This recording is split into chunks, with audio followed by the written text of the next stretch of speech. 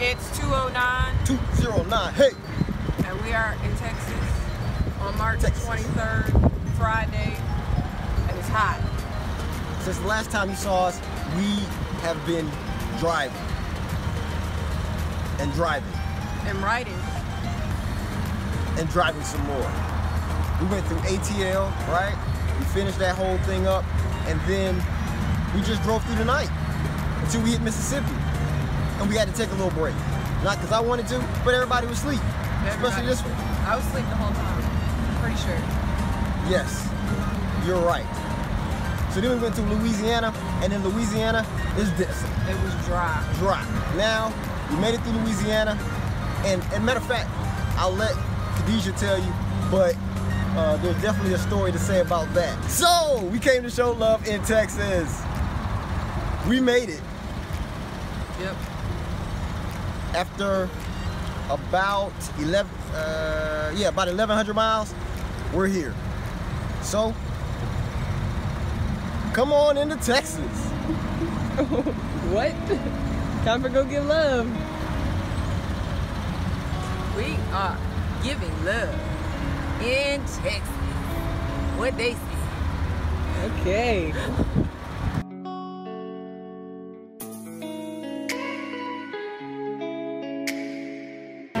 Okay, so where are we?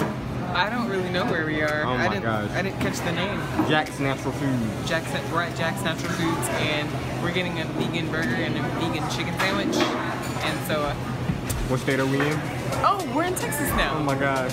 Um yeah, we're like we just got out of Louisiana.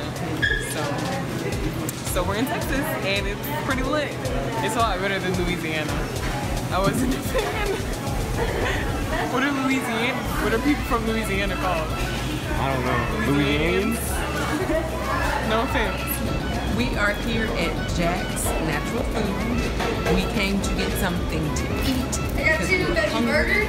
Oh, look at that. Look at that, yes. Um, two veggie burgers. Right here? Yep. Okay. Make it do that. And the rest of the food's coming out uh, slowly. Not slowly, wait.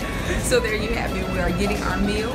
Um, while we were on the road, I Googled to find out vegan restaurants because you know I like vegan friendly food and we found this place and so we're gonna taste it and see what's popping. So other than the burger, though, we have some chicken sandwiches as well. Yes, and I have an almost Reuben because since being vegan I haven't had like a Reuben sandwich.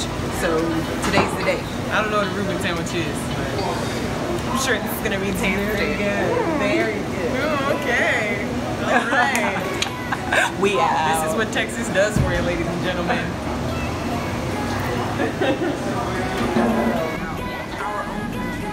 And so that's what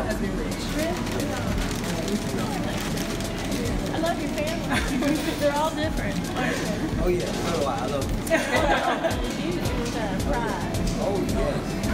Okay, ma'am. I got a specialty smoothie here. Oh, you that's It's dark. a little bit of a uh, weird texture, too, if you shake it around. but I bet it's good. It. Okay.